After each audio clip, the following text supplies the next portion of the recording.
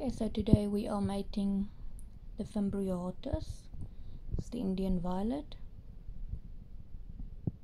Female mine, male Nicholas.